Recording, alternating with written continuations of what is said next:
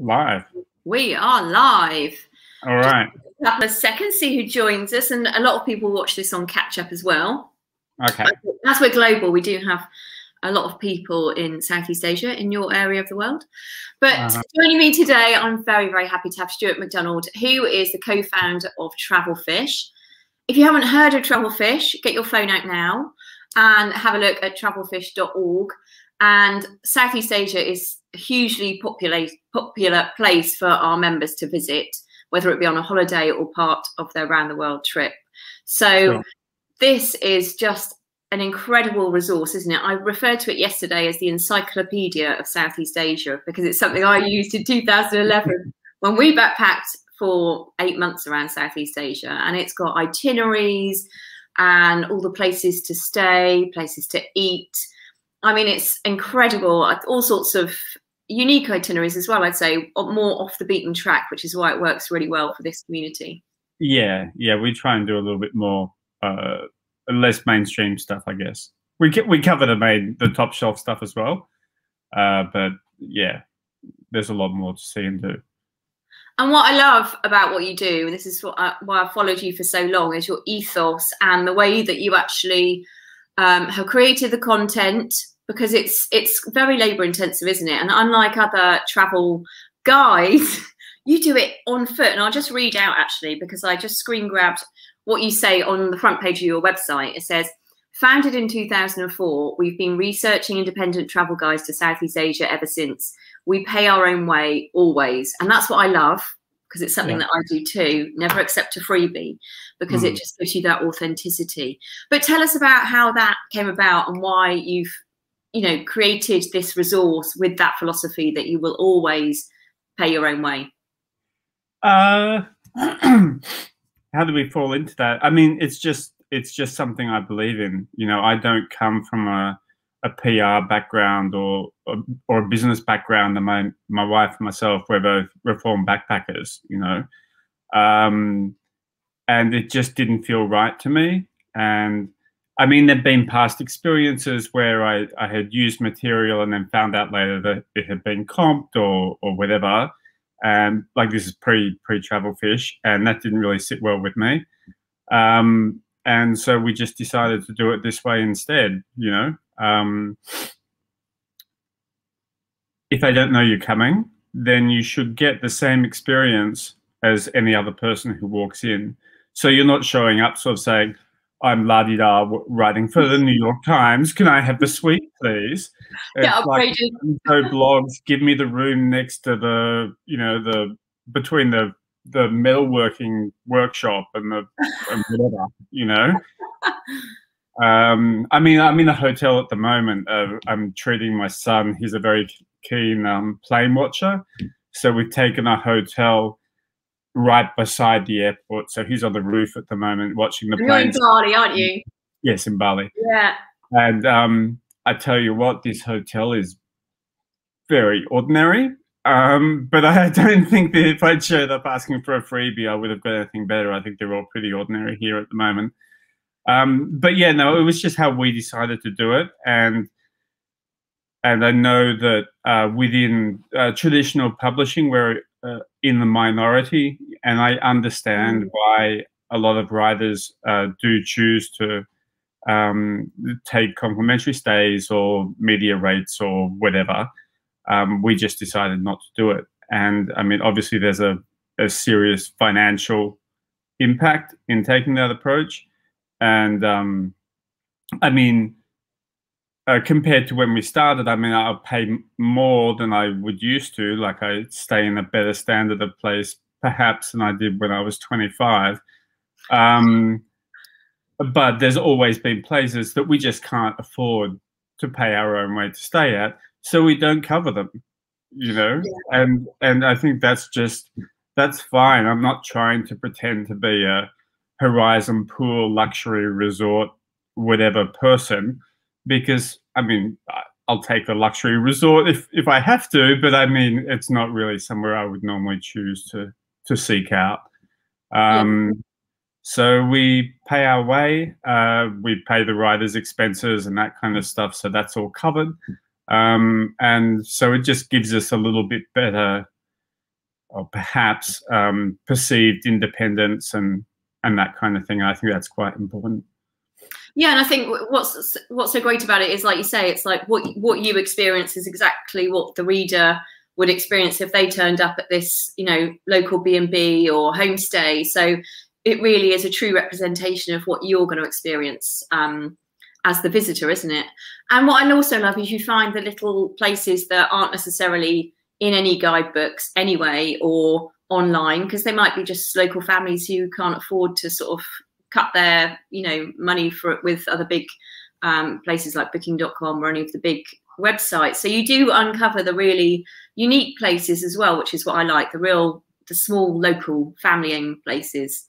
Yeah thanks. I, I mean like from when we first started we we have tried not always successfully but we've tried to um, highlight locally owned family owned businesses that kind of thing um, because i'm a strong believer excuse me, in the in the value of independent travel and putting money into locals' hands. You know, uh, so when you're staying at some chain hotel or a fancy resort or or whatever, um, I mean, yeah, maybe locals are getting jobs there, like making up rooms or serving serving in the restaurant or something like that. But that, that's not the same, I don't think, as when you're in like a homestay kind of situation or or something like that where it's family owned where you're sitting there in in the morning on a weekday and mum and dad are there shuttling the kids off to go to school yeah. you know? And if you stay there long enough you get to know the kids you get to know the families you know?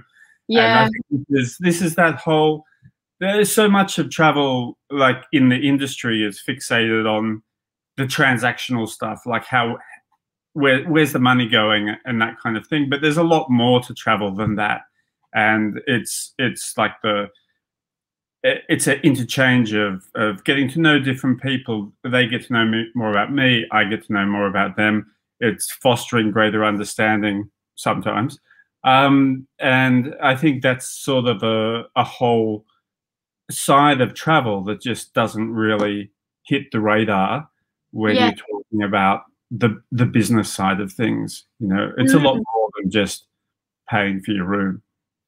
Absolutely, and I, someone asked me the other day because I love you know budget travel i suppose sort of the lower end of the market someone said what is budget travel to you and i said actually it's more value driven travel for me i get value out of finding the local places and getting to know the local people and i love staying in a homestay when they've only got two or three rooms because like you mm. say you're sitting there or you're eating with them and you know you're finding out about their family life and actually find out more about the local area and then the places to eat and all those other um, places to see, which are far nicer, much more enriching experience. Yeah, I mean for sure. I mean, I'm not I'm not saying you can't have that happen at a fancy place as well. You know, I mean, uh, my wife certainly prefers to stay in a fancier style of accommodation than I'm I'm happy in. But I mean, you, you, get a get a, you get a good concierge, and they'll say, "Oh yeah, this is where you should go," and they they can read you. You know, they know what you want and that's what a good concierge is. But I, I don't think you have to stay at a fancy place to to um to achieve that. I mean, uh, we just had Nyepi here, the the Day of Silence in Bali, so we went up to to Amed in the northeast and uh, stayed in a, a, beautiful, beautiful place, and it's ideal for families because it's uh, we I had two kids, and the the compound was three wooden uh, like Javanese style houses, and um, so we each had our own, so which is perfect.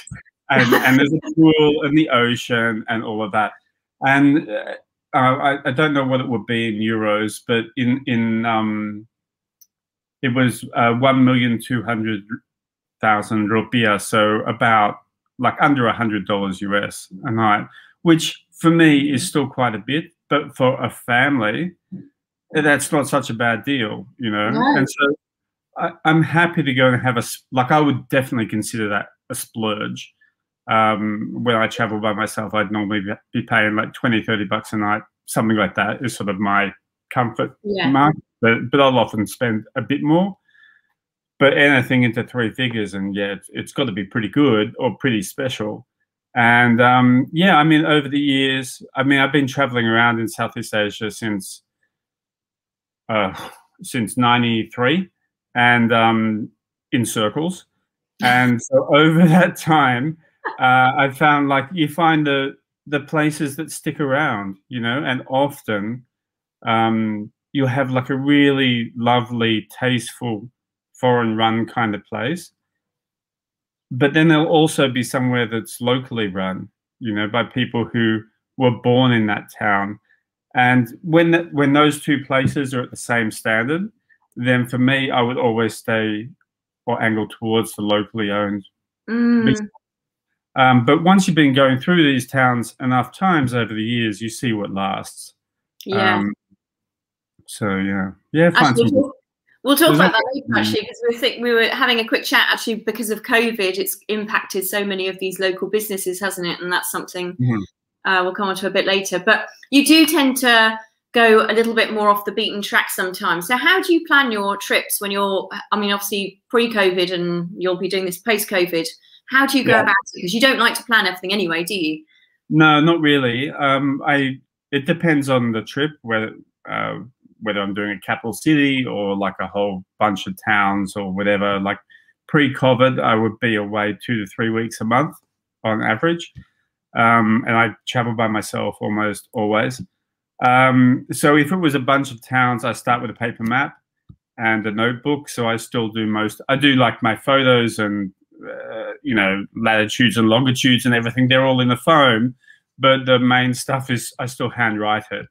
Um, so I start off with a hit list of okay, I think I need three days here, two days there, three days here, six days there, two hours there. You know, like that kind of thing Yeah. and um, I do a lot of two-hour towns. I, I say that everywhere is worth a night, but uh, to be honest, I don't know that that's really true.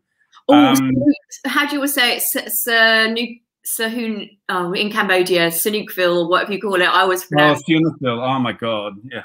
It's horrible, isn't it? It's changed so much. I, I was I was never like a great Sihanoukville fanboy, to be honest. Like we lived in Phnom Penh uh, quite a long time ago and used to go down to Sihanoukville. And I've never been much of a fan, but when I went back, it was like, oh my god, you know, it- Oh. it, was hell's bells. Uh, but like as we it up, we, we were writing about the islands offshore, or I was, and and we just sort of said, well, you've got to go through hell to get to heaven, you know, and that's what Singapore is like. Um, and I remember I, I, I talked to a hotelier while I was there, and um, I'm like, "What are you doing? Like, why do you why do you still have this business?" And they said, "Well, you know, like they had lived there for a long time. They weren't from Sihanoukville; they were Khmer." And they said some people get stuck here uh, and they want to stay and everything, uh, but there's not really anywhere else we want to go, you know. And they don't know how to do anything else. Well, no, they're they're Khmer, so oh yeah. it, it, it was kind of interesting. I felt really sorry for them because it was the place was fine. Like it wasn't the best thing since sliced bread, but there was nothing really wrong with it other than it was in Sihanoukville, you know. Yeah. And um, so yeah, sometimes it's a bit hard when you say to people, "Well, just don't go to that town." Mm, That does have a repercussion. Like I'm not super influential. I'm not Lonely Planet or whatever, but I mean, it's it still has a repercussion for the the people who are trying to get by there. Because back in 2011, Otres Beach, I absolutely loved because it had that really lovely vibe. But um, I think I recommended it probably four years ago to someone in the group, and it had just started to turn, and Right. it's, it's not the same anymore, and it's just such a shame. So I was really upset because I loved that beach. It had everything I loved about the, you know, really laid back and the beach huts right Yeah. front and the swings and everything, and yeah. no longer there. What Well, it, it still has a few. There's a few little spots like that still on Otres, or there were, was last year anyway, or year before, sorry. Um, but most of it is a complete disaster area. You know, I mean, there's no other way to describe it. You know, it was. I, I really, I just couldn't believe it. Yeah. Like I'd seen the photos, I'd seen the movie, the videos and stuff, and people had told me about it, and it had been quite a few years between my visits, so it was it wasn't it wasn't a boiling frog it was more like a frog being tossed off a building or something and and um yeah it was just I took my breath away i couldn't believe it you know so I sort of interjected in your conversation about how you plan your trip. So yeah, some towns you oh, go in two hours, and um, yeah. But you find places as you go, don't you? So the new places that might not have existed last time you visited. Yeah, I I find new places a lot of different ways. I, I know quite a few people in the region. Uh, I know a, a, lot of other travel writers and that kind of stuff. And so I'll tap them up for information and tips. Like there's always a lot of back scratching and in that kind of thing.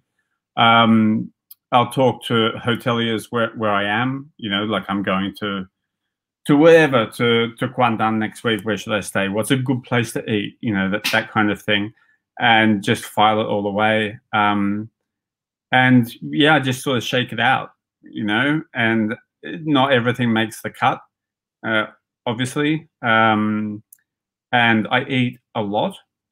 Um, I don't eat everything. And that, that's the thing, you know, like when you're having six or eight meals a day, you can't, well, you could, but you'd be the size of a horse. But I mean, um, you have to just eat a little bit, like, is it good or whatever? And then it's always with the staff. It's like, well, what's wrong with it? It's like, well, oh, no, i yeah. just, I've got to eat six more bowls today, you know? Um, so, yeah. And then at the end of the day, it's um, just a mass of business cards and napkins and notebooks and whatever. And that goes onto the laptop and then start again the next day. Um, but it really depends. Um, some places take a lot more time and require a lot more planning. Mm-hmm. Um, if you because I'm trying to turn around things because I have this fairly tight window before I need to get back to the family um, to try and get my bang for my buck. And so yeah, it's a, a good friend of mine, Celeste Brash, is a Lonely Planet writer, and she she the way she described it, I thought was really good. She said, um, "Travel writers see everything." and experience nothing. and and I think that it's a bit bleak, but there's also a lot of truth to that. You know? yeah. Um, yeah. Sorry, my dog is scraping at the door. That's so typical. No. I thought he. Let me just open the door so that he doesn't. Go oh. Sorry about that. Come on, then, silly dog. So sorry about that. That's live for you, isn't it? Got the yeah. dog jumping at me. I'm waiting for my one my son to surface. He's up on the roof somewhere watching. Oh yeah, my son's upstairs. I think I'm running past his PJs in a minute or something. you must have hundreds of notebooks now, hundreds of them. Do you keep them? Yeah, yeah. I've still got the very wow. first one I used in Vietnam in uh, 1993. So, oh my goodness! Yeah, I kept everything. Unfortunately. Wow. Much to my wife's uh, displeasure. Well, this leads me on because it's such a unique concept, the way that you do everything. It's not traditional in the sense that you don't charge people to be on your website. Everything is independently reviewed. So generating revenue, revenue is quite a challenge. Remember reading back years ago, actually, loads of interviews mm. about, you know, it's hard to monetize something if you're keeping so um, you know you want to do things in a certain way so you mm. have a really good membership scheme don't you on your website yeah. which you can subscribe to for 95 and it's Aussie dollars, isn't it? For a lifetime. Yeah. For yeah. Um what we used to make lots of different ways, like hotel bookings and as and whatever. And then we switched to a membership program a few years ago, which was uh, 35 Australian dollars per year. And then about a year ago, it was when I did the redesign, so it was a little bit longer. Um, I added this thing that was $95 forever because I thought, well, you know, why not? Why like just try it, you know? And because some people do like come here and then they come back to the region in four years' time or or whatever, and yeah. I, I don't really feel fair sort of charging them 35 bucks a year when they're in Peru or something, you know. So we thought, well, 95 bucks is a nice round number, and we'll throw Couchfish in and that kind of thing. And um, and that's what most people do now. It's been quite surprising. Um, yeah. And um, and I think also because of COVID and the lockdowns and the the really like you can't really travel very much. It, it sort of felt a bit weird. Like I need the money, but I mean, like I, it felt a bit weird charging people for information uh, that they weren't really to act on. And obviously, we're not yeah. updating at the moment because of uh, because of COVID. So tell us what you get for that because you've your itineraries. I mean, you, have got sample ones on your website anyway, haven't you? I mean, they're like mm -hmm. seventy pages long, sixty pages long. They're really in depth. They're like yeah. books, but you have access yeah. to those, don't you? Yeah. So a, a paid member gets um, all the PDF guides. So that's like a like a mini. It's it's basically like the section of of the website for a particular town. So for whatever Chiang Mai or something and so it's all of the everything thrown into a single PDF. So we have about they get about 300 of those. I think it is that they're the destinations that we've cooked into into PDFs, and then they uh, some sections of the website are um, paywalled, so they need to need to be a member to be able to access that.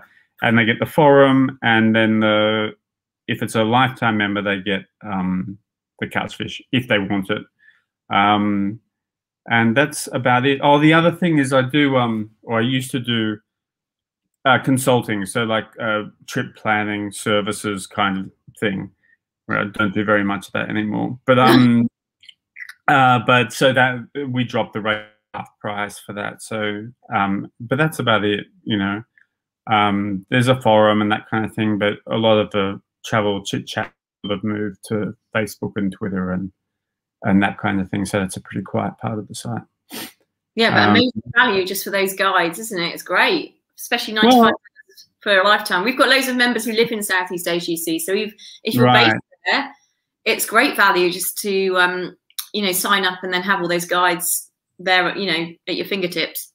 Yeah, that, that's true. And I mean, um, I mean, they don't have to sign up forever. I mean, they're welcome to, but they can also sign up for um, for $35 and there is a shorter one as well it's like what is it it's two weeks i think i can't remember there is another cheaper one as well for somebody who just wants to oh yeah i don't know i don't know what this Travelfish thing is and i want to out um, so they can do that but nobody does so um, i don't know well, that's interesting isn't it mm. so you were talking about covid because you've you have reviewed, I think, well, the latest stat on your website was over 8,000, but it's probably more than that, isn't it? Accommod like accommodation outlets that you've been to. Well, you and in a few of your team have visited. In, in the region, yeah. It's, it'd be, uh, oh, property wise, yeah, it's about 8,000.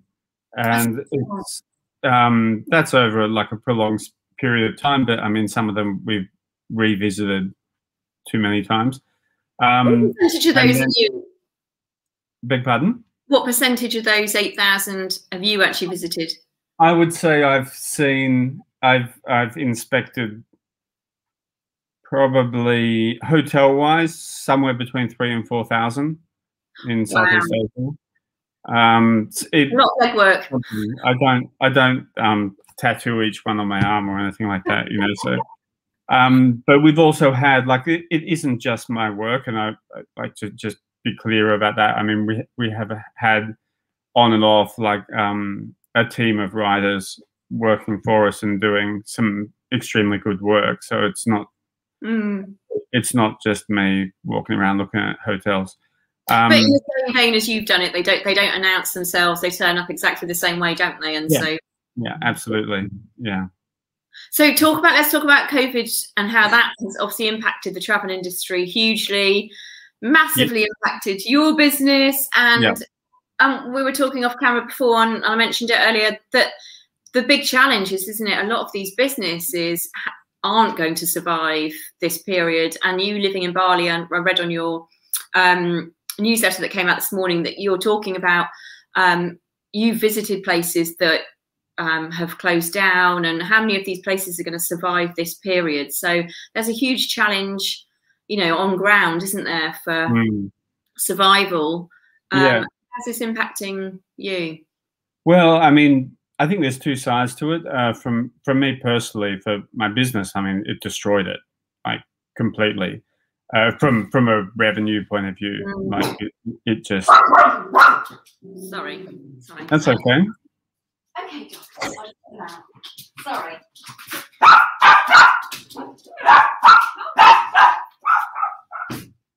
It's a tiny fluffy dog, but he likes to have a big voice. That's all right. No, normally when I record, I have a rooster, so um, I'm used to it. Um, yeah, no, I mean, COVID destroyed our business uh, entirely, um, and so out of that was one of the reasons why I decided to to start Couchfish. But um, on the ground, I mean, it's a it's a bloodbath, you know. Um, earlier in the year here in Bali, hotel occupancies were about 3%. Um, and I mean, tourism has dropped to, to almost nothing. But I mean, domestic tourism has always been a, a, a major part of the scene here, but it, it is looked after by a different part of the industry, you know. It, you do have hotels that have mixed clientele and everything, but often More they're it? quite separate. Um, but yeah, it's been brutal, and there hasn't been like the uh, governmental financial support that some countries have seen. Um, so yeah, it's been uh, terrible. Um, I mean, not just in Thailand. I mean, I was reading a story this morning in about the industry in in Thailand. Sorry. that was talking about how the suicide rate had gone right through the roof and you know people are because in 2019 all the 2019 that's yeah 2019 all the talk was over tourism you know people were like leveraging themselves to the eyeballs to cater to this insatiable tourism beast and then everyone stayed home you know so you've got people who have borrowed money uh, who have built villas and hotels and guest houses and whatever and they've got no means whatsoever to to pay this money back. Um, so yeah, it's been uh, like like everyone thought in 2019 tourism was too high, but I don't think anyone was wishing for for this this kind of extreme result. Oh, no. Um, so yeah, it's it's been ex- extremely difficult. I mean, we're very lucky. I mean, we're we're still financially okay because of other other pro- projects and stuff. Um, but for a lot of others, I mean, in Amed, I would say probably three quarters of the businesses were closed. Oh, So, how many of those are um, closed just because they're waiting for a booking, and then when a booking comes in, they'll open? How many are closed until COVID's gone? How many have just like some of them were clearly abandoned? Um, and it's like there's a story of misery behind every single one of those. Um, and yeah, it's it's um, terrible. It's awful. I think we we probably not. You know, we talk about tourism opening up again, but actually, we're not thinking about what's going to be left when it does open up and the impact it's actually had on those those individuals and those smaller businesses. It's not just a matter of being able to open up because a lot of these people just haven't been able to survive at all. And yeah, I think there's going to be uh, it's going to be really devastating the next six or seven months. Well, yeah, I think and the rest, and I've been a, a bit of a minority voice in some of this reopening discussions because I, I think I believe very strongly that um, the the health of the people in in the destination is is of paramount important. So I think it should be safe for for the locals before um, uh, uh, tourism is brought back in, and Mm. not everybody agrees with this point of view, um, and I haven't always been particularly eloquent in how I've um, explained how I feel about this. But anyway, um, I mean, in Thailand, vaccinations have barely started. Uh, at the current rate in Indonesia, it's going to take them ten years.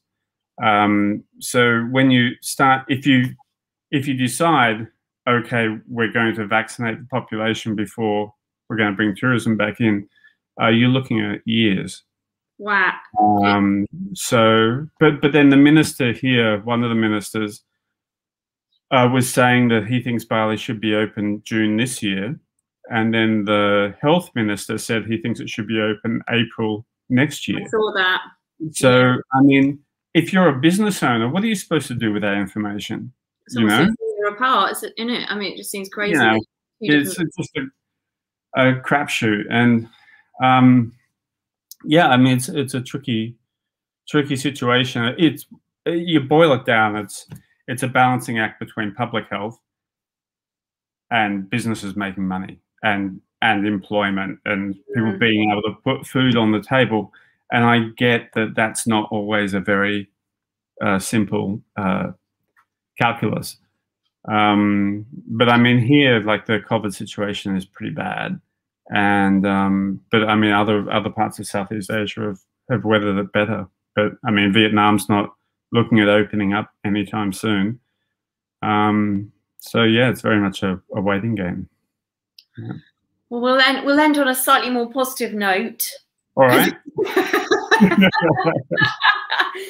let's talk about the let's talk about the future when we when hopefully it, uh, when things brighten up.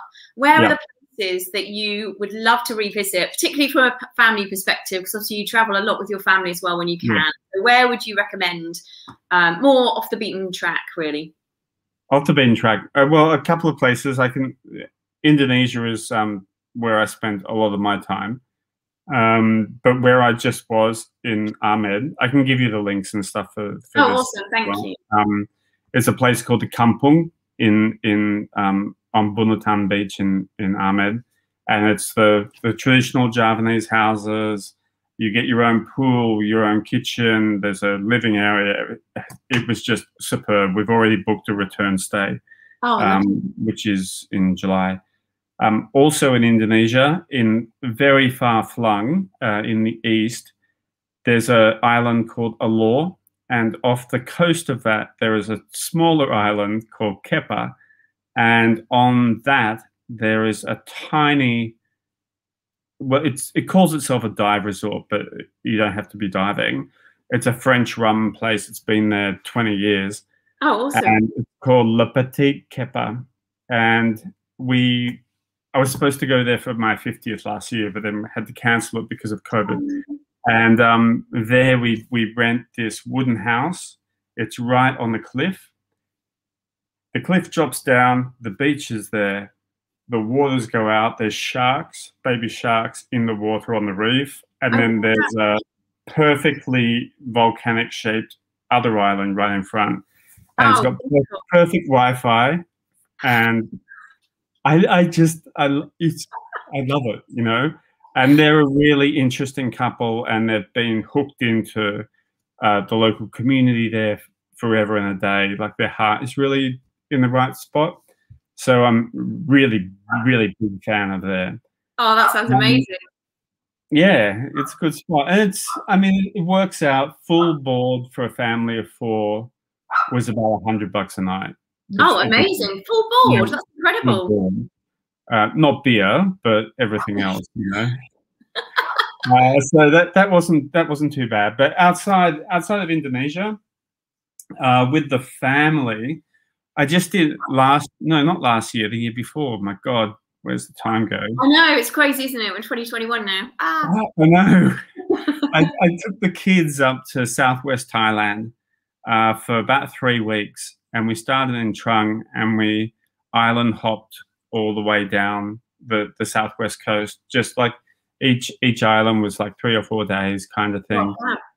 and that was just great, you know. And the kids loved it, and because like here it's all surf, but there it's it's not, you know. And my kids can they can swim fine, but um, I could just let them go, and they they go and do whatever, and and they loved it, and it was that was really really. I think Thailand is just so easy, you Oh, know, it's really easy, isn't it? so easy.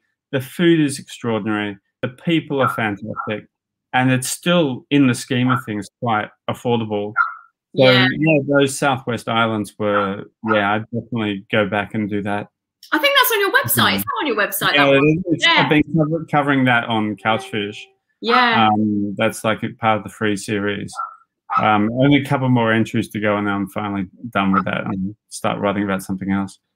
Um, Amazing. but, I mean, the Couchfish thing has been interesting because I started that at the beginning of of COVID, and the idea was I wanted to bring travel. I wanted to bring the region to people, right? So that's why we came up with the name because every at the time when I started, it was the really strict lockdowns. You know, like everyone's stuck going anywhere. You know, and so okay, I'll bring travel to you on your couch. And um, initially, it was like this kooky kind of itinerary that I had sort of planned out, and and now I'm up to like day 220 or or, or something. I, I don't know. Um, and when I when I went to start it, my wife was like, "No one's going to want that. Who wants that?" You know. But it turned out that it's been. I mean, it's not hugely successful, but I mean, it's it's worth doing. And um, but what's really made it worth doing is the number of messages I get from people who who oh, say like, um, I get all these crappy emails day in day out, but I always look forward to this one, and and that's just like that's why I did it, you know, like to sort of say Southeast Asia will still be here whenever this this disaster finally dissipates and goes away the region will still be here. The food will still be here. The people will still be here. The culture will still be here. It's not going anywhere. Um, and so it was really, isn't it? The, your your couch it's storytelling, isn't it? It's really yeah. like yeah, it's really nice, and you also have it recorded, so you can listen to it as a podcast, which is really That's handy. Right. Yeah, my mother has decided uh, discovered a lot of stuff from my early travel that I think she would have preferred not to.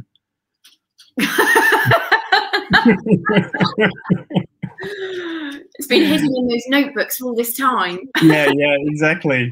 Well, it's been very useful having those notebooks now because I mean, some of the some of the stuff I'm writing about happened like 20 years ago, um, but they've been very memorable experiences. Um, but the notebooks have been, yeah, very helpful in jogging memories and.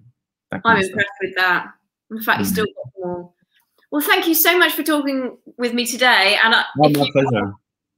Anyone watching, please go on to travelfish.org because once you're in there, it is like a rabbit warren of uh, Southeast Asia. You can't get out. it's just too yeah. many things to look at. yeah, it's like a treasure trove, isn't it? So yeah. thank you for joining me here today. And if anyone has any questions, please post them and I can pass them on. And, and I'll put the links that you've recommended as well. Yeah, uh, Cool. Well, have a lovely day. Yeah, you too. All right. everyone.